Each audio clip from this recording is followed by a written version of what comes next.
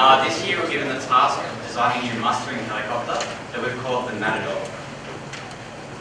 So cattle stations in Australia are really large properties. In fact, they're pretty much as large as some small uh, countries.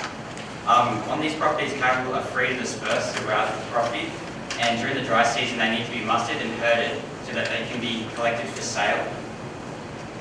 Um, so mustering is a process that incorporates helicopters, ground vehicles, and horse-mounted musterers.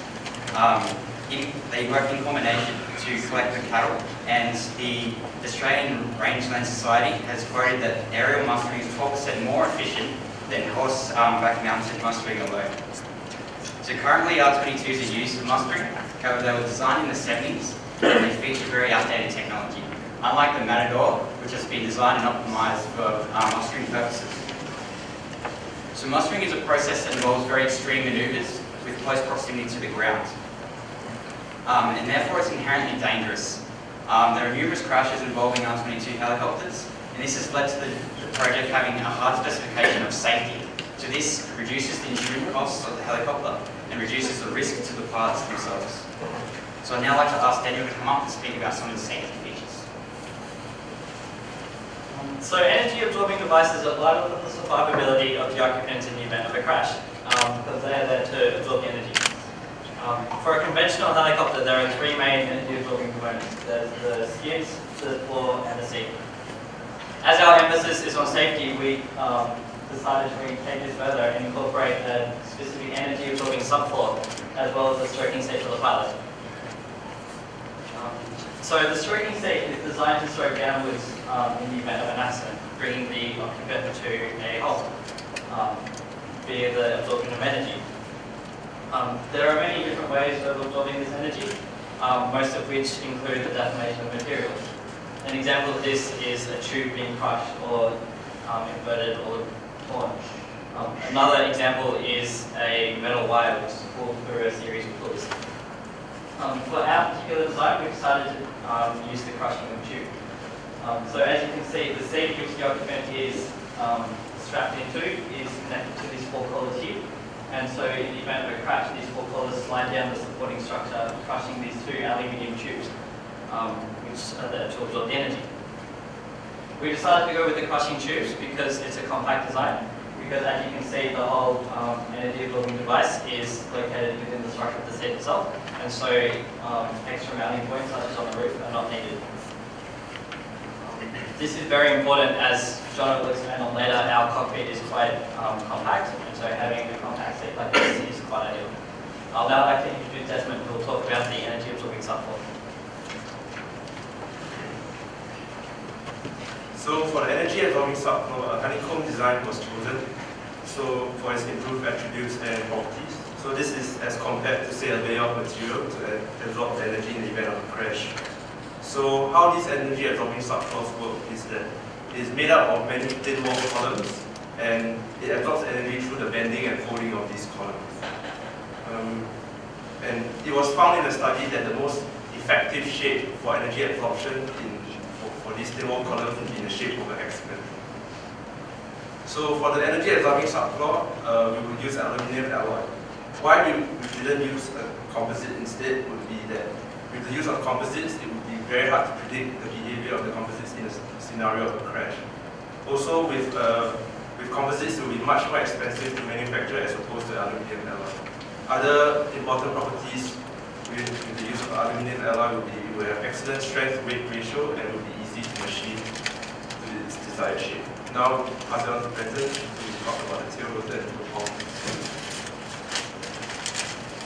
Okay, so the drive shaft that um, goes to the tail rotor is a very heavy component and it's a major cause of vibrations. Um, so it was a real goal for our design team to get rid of this shaft.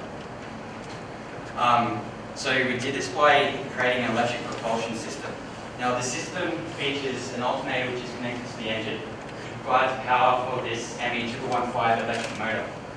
Uh, the motor drives the tail rotor directly, um, so the only linkage between the two is a uh, cable, electric cable. Um, the reason we chose the ME215 was for its high efficiency over range speeds. Um, this is because we actually changed the thrust of the tail rotor by changing the speed of the rotor itself. Uh, we also went with a ducted tail rotor design. Um, this helps us meet our specification of safety. This is because the duct provides some shielding against tail strikes, um, but also has some secondary effects, such as increased aerodynamic performance. Um, we also made this uh, component modular. So upon maintenance, you can actually remove the entire unit itself and then just replace it with another unit. Um, since our yaw control is electric, we decided to go with an all-electric control system. For this, we required um, actuation for the swash plates.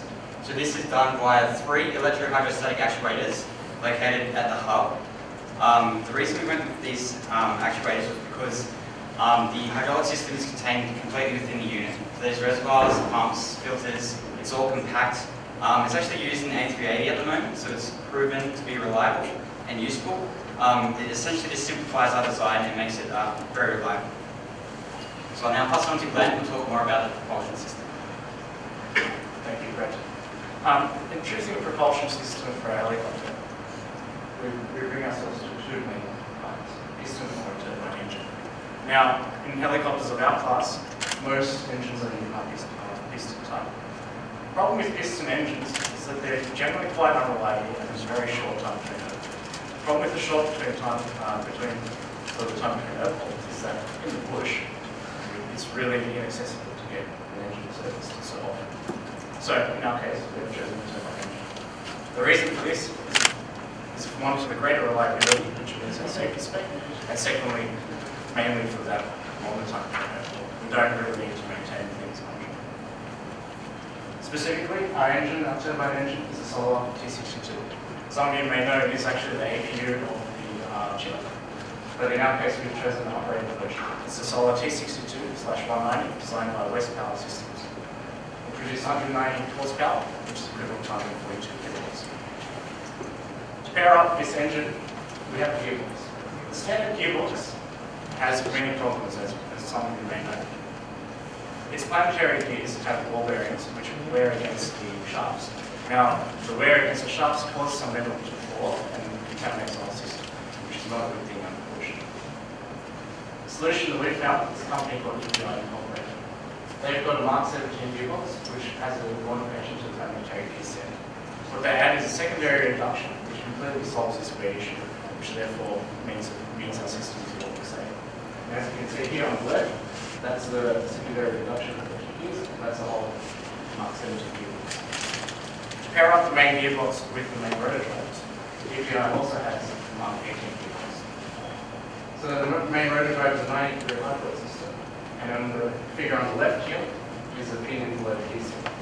The pin and blow adhesive is a really important feature because in any, in any case of dust injection, the, the issues with dust are negated because of the adhesive on on the figure on the right here, you can see it is rotor pretty much like we were just making it up.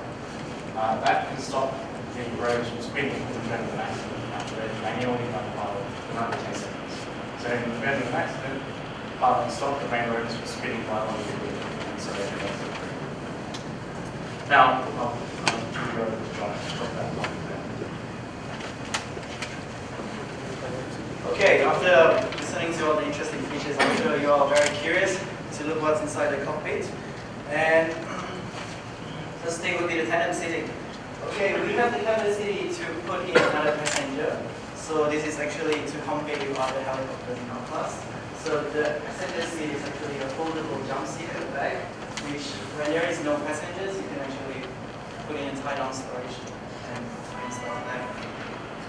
And then the vision, a mustering helicopter, the entire helicopter is designed uh, mainly for the pilots because the uh, mustering helicopters perform maneuvers that are very close to the ground and they they have to concentrate on their work rather than doing um, than anything else. So it's a wrap around, there's very close proximity glass preventing parallax errors and the bar on there is the, the example. All right, and the next one will be the complete display. As you can see, it's a minimalistic layout. Um, how many of you find that you get distracted in the cars by your LEDs, LCDs, and many buttons and screens? Well, unlike that, we um, actually choose a minimalistic layout by only showing the important details, the important um, dials, they're mastering harder than me, and not want to get distracted with. And instead of using LEDs and LCDs, we use analog dolls because they are very easy to see at a glance. And the ones on top are warning lights. The warning lights replace all other important informations that indicate emergency landings procedures. Yeah, pass on to um, Right, thank you, Jonah. So now, you, well, I'll talk to you about how we went about designing the structure of uh, the Matador. Firstly, here's a brief uh, flow chart. It's a very simplified one, and this is describing how we went about designing the structure. Uh, firstly, individually we brainstormed. The reason that we didn't do it as a team because is because we wanted everyone's thoughts on the design so you could get different opinions and all avenues to analyze. And then during the team meetings, we revised the design and created a first iterative uh, geometry. Then we carried out finite element analysis. And then following that, we decided on the loads and uh, we studied the loads and the loads distribution. And then we revised the structure again. And it must be noted that when designing the structure, manufacturing concern, considerations were always kept in the back of the head. So at every step we thought, you know, is this feasible to manufacture? Is there any way of existing technology that we can manufacture? And then we constantly uh, kept on developing and modifying, which was an iterative process, and then finally sized the structures. And if you would have noticed from the previous pictures that uh, the Matador features a space frame structure, whereas the Matador's direct competitor, the Robinson R22, that is currently used in mustering, has a semi monocoque structure. The reason that we went for a, a space structure is it's relatively lighter and it also must kept, kept, be kept in mind that the R22 is specifically designed for mustering. So it, it, it will be operating in rural regions of Australia. So it has to be very reliable and durable and also because it will be doing low level maneuvers, it needs to be relatively damage tolerant due to the due to the debris that will be cost blind because of the downburst from the main rotors. Um, and now I'll introduce you to Lincoln, my colleague, that will be talking about how we carried out the analysis. Thank you, Krish. From the brainstorming brainstorming session, the initial column initial configurations were drafted, and the finalized geometry was created using the computational software CAD This was in order to analyze um, the, the structure uh, in order to size and analyze the structure, the finite analysis was carried out using Patran and the post-analysis was done using Excel. The material properties of chromoly indicate that it's an ultimate tensile strength of 670 megapascals and yield tensile strength of 435 megapascals, which is greater than most steel alloys used in today's helicopters. In fact, if the Matador operates under the endurance limit, then the, then there should be no factory issues involved. Um, and thus the space frame structure should be more durable as the fatigue life of the structure should increase. And corrosion is also another factor which affects the safety of the helicopter space frame as it will eventually degrade the material properties of the chromoly. In order to prevent this from happening, a protective coating like paint is uh, applied to the um, structure so that it provides a barrier between the structure and the constrained environment. The chromoly space frame also increases the um, also increases the damage tolerance of the uh, manifold structure as it um, also has, a, has a high strength to weight ratio suitable for optimizing the strength of the structural members whilst also minimizing the weight of the structure. The safety feature of the roll bar within the cockpit helps, also helps increase the damage tolerance as it as the strategic placements of the roll bar help in the load transition, uh, converting it from a cantilevered structure to a simply supported beam. This helps in reducing the bending moments being experienced by the structure and also helps optimize the energy absorbing features of a metal. Actually, Chris. Um, so moving on, if you notice we're using chromoly tubing.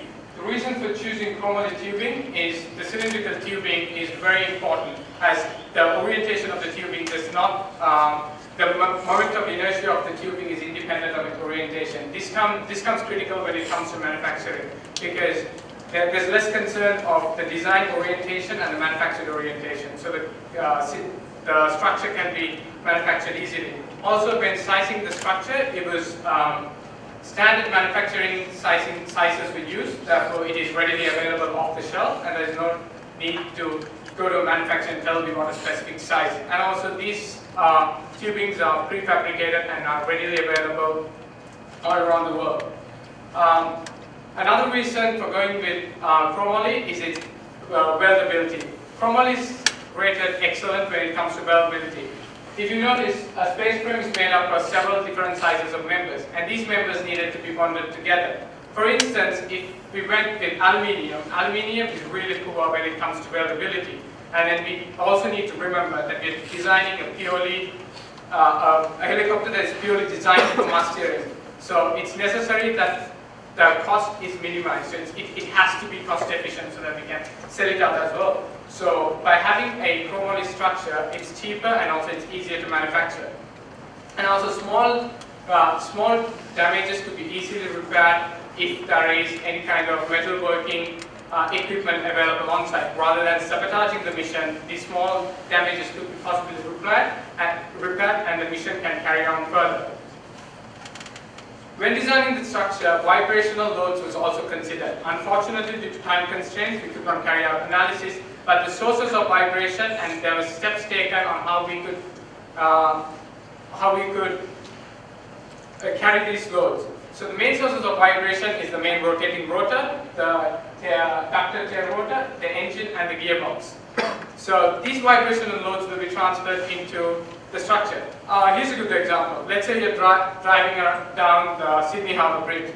There's no dampener in your car, and all of a sudden your car starts vibrating. All that vibrating energy is transferred into you, and you start shaking. You can't see the road clearly, you can't read the dashboard, you can't read the speedometer. And it, the inevitable circumstances, either you drive into the neighboring lane or you drive off the Sydney Harbour Bridge. And I don't want that to be the fate of our helicopter. That's why we have decided to install in uh, vibration isolators in the cockpit that will shield vibrational energy from being transferred from the structure into the pilot and the avionics, thereby improving his visibility and also he can concentrate on the equipment and then he's not distracted. So this improves the safety operation. And also at the mounts that will be vibrational dampers, we will reduce or minimize the amount of energy that will be transferred into the structure. Oh, and when we were designing the engine and gearbox mount, in addition to the weight, there were other loads considered as well. For instance, the torsional load, because there are rotating members within the gearbox and the engine. So there had to be counter-torque members installed to prevent it from rotating when, when the engine and gearbox start rotating. And also, the engine and gearbox needs to be, be removable for servicing. So this also was kept in mind. When designing the structure, this illustration here shows how the engine could be removed and lollied away for servicing. As you can see, the, um, in the first image, the cross member the tail strut is made in such a way it's removable, so that it provides the provides enough space for the engine to be lowered and removed away for servicing. And now, Sandy will talk to you about how the Matador performs against its direct competitor, the Robinson R22. Thanks, Christian. Um, yeah, now I would like to compare the specifications of our helicopter uh, to that of the R-22. The reason why the R-22 was chosen for this comparison is because, as Brenton mentioned before, uh, our helicopter is aimed at replacing the R-22 for mustering purposes. Firstly, the endurance of our helicopter is significantly better than that of the R-22. This is highly desirable as it means that mustering can be carried out for a longer period of time before uh, is necessary. The power to weight ratio of our helicopter is also much better than that of the R-22, which leads to better maneuverability. The cause of the significant increase in the power to weight ratio is due to the fact that we have chosen to use a turbine engine, which is much more powerful compared to the piston engine, which is used by the R-22, while the weight of both helicopters remains uh, more or less the same. It should be noted that the tail boom of our helicopter is shorter than that of the R-22. The causes of many crashes of the R-22 and helicopters in general is due to the tail strike during uh, landing and low altitude maneuvering. Therefore, minimizing the length of the tail boom minimizes the possibility of a tail strike and effectively uh, improves the general safety of the helicopter. And now I would like to pass over to Krishan, who will conclude this presentation. Thank you. So for nearly the past 20 minutes, uh, the team and I have been discussing about the features in the Matador and how it is performing. So now we'll have a brief uh, summary and conclusion of our features. So firstly, the Matador is being designed because currently the Robinson R22 is used for mustering. It wasn't designed for mustering. So the, the method of features an energy absorbing system during a crash that is the subfloor and the stroking seat. It has an electric ducted fan and also has electronic control system, electrohydrostatic actuators which are used in the A380. And it has a minimalized cockpit layout to ensure that the pilot isn't distracted during operation. The structures have been uh, designed in such a way safety is kept in mind and there are vibration dampers. And also Sandy described on how in spite of all these added features in terms of safety, the performance of the Matador isn't inhibited. So ladies and gentlemen, I'd like to conclude saying we as the designers of Matador strongly believe that if the Matador is unleashed into the Australian outback, the skies of Australia will be a much safer place. Thank you for your attention.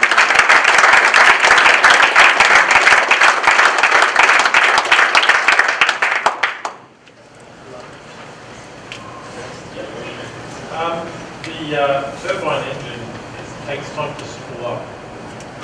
Now, the piston engine is very quick. So in these sort of maneuvers and areas of operation for mustering, so consider that because it's extreme maneuvers that the engine won't be able to spool up fast. Or you're running at a constant RPM for, for the, um, for the, for the of the, But when you need extra power through yeah, uh, So it does have a governor. Um, we did think about it, um, but um, I guess we thought about it, but I don't know, we just didn't have the experience yet to um, think we might consider it. And ba- based on the parametric studies, look, I believe there's a few, there's a few of, um, so there's actually just that issue that you're worried about, the responsiveness of the turbine engine. this engine. They do say it's slightly weaker, but they, they expect it to be actually almost, um, but, yeah, we have that, that issue.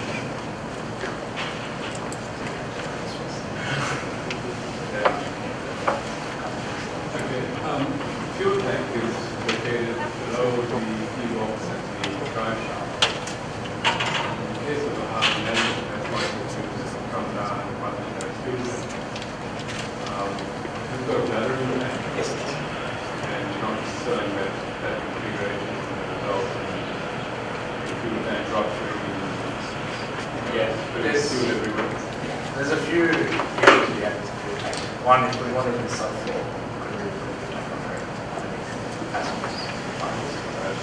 It's also not a good idea. Um, the other issue is that the turbine, one downside of the turbine is the consumption. The consumption of the turbine is not very modest. So as you can see here, it's very much. Um, fuel consumption is about probably two thousand pounds per hour. Um, and it's 85% of it. So that comes really into energy price. We are aware of that. Although it's the fuel tank that is there, uh, it's actually a pressure pressure. The regular consumption.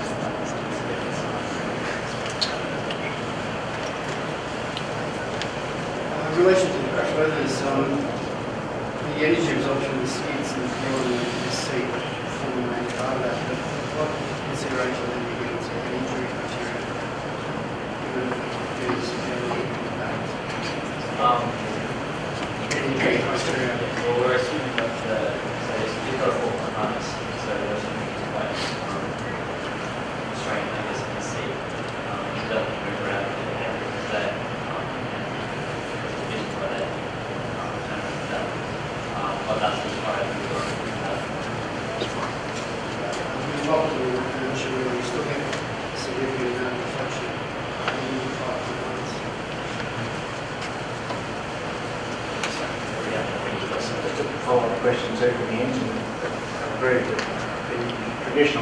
control is twist the throttle, which you can't have the two. I think it's a, the price, the full authority digital engine control engine price. Uh, no. It's fairly expensive. Whereas the R22, you just twist the throttle and it's very hard to overtorque or overpower, but very easy to overtemp too. I think. Um, could somebody elaborate a little bit on the rotor head design and the, and the control system? Um, electric driven tail rotor is fine. Um, how's it actually, you say it's done by variable speed, or varying thrust by varying speed, right? Um, it's obviously a power supply to the electric motor. How is the, how does the control system work? Is that electric motor controlled digitally? Uh, yes, I believe it has a motor controller, which um, changes the signal to the electric Okay, motor. and the same with the rotor head, right? Uh, the main rotor head um, is actually a mechanical engine as well. As well as the electrohydraulic. It's an electric actuator which controls this one. Yeah, yeah. Yeah, sure. Okay, the electric actuator is controlled by ones and zeros going down wires, Yeah, right? yeah, yeah, that's right. Okay. You've probably bought yourself about ten million dollar certification for it.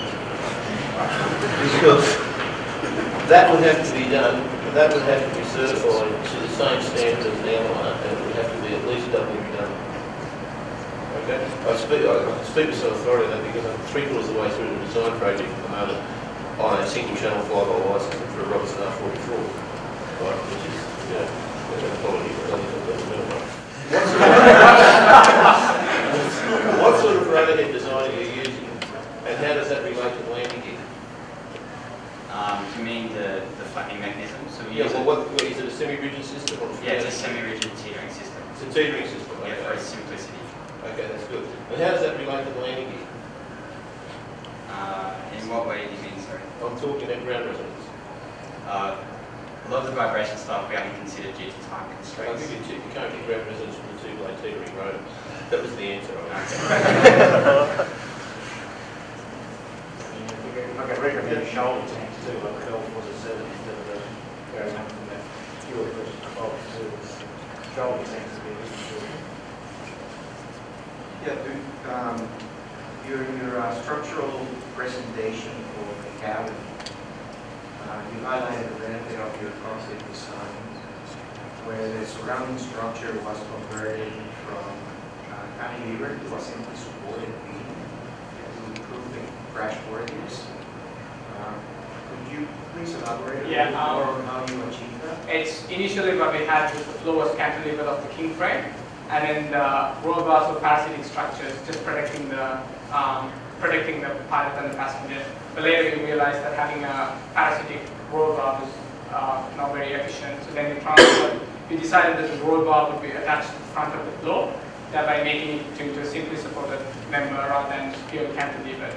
And how it improves the crash worthiness is because the, um, the flow of the uh, helicopter is uh, designed so that it's rigid, and because if it deflects, the uh, energy absorbing features won't perform at the optimal level. So it, it acts as a rigid body while the energy absorb, allowing the energy absorbing features to uh, perform an optimal level without interfering.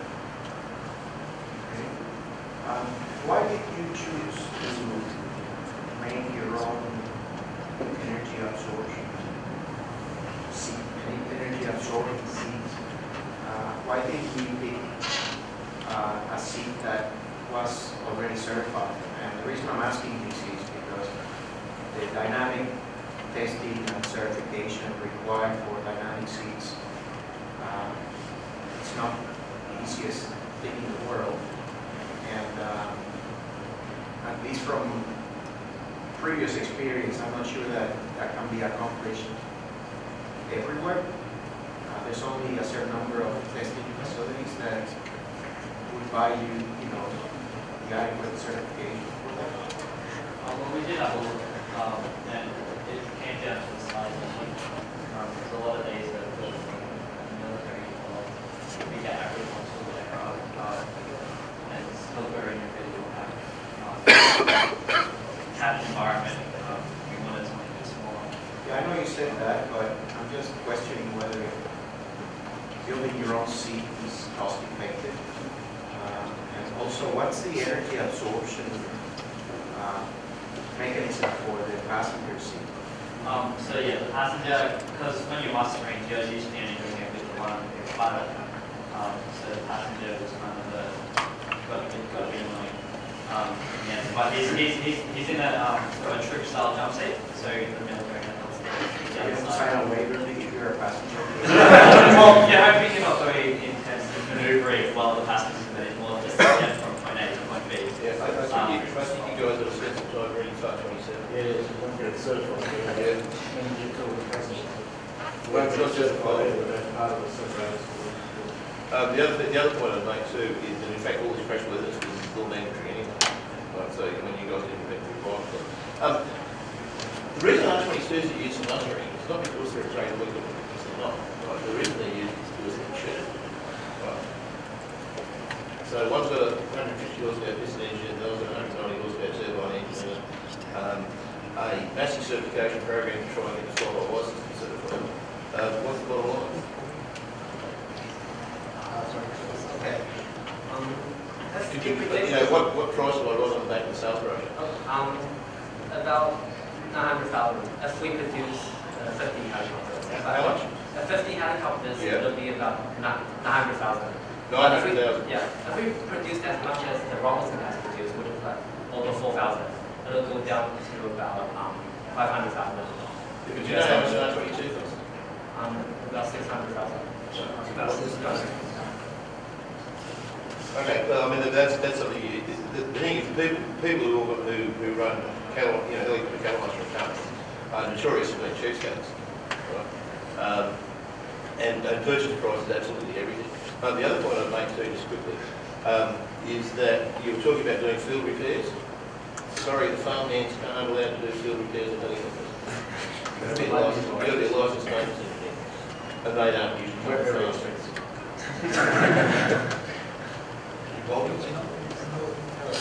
Oh, yes, I have.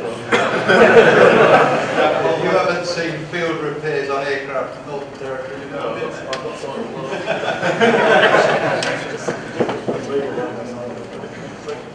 Well, what is, what is?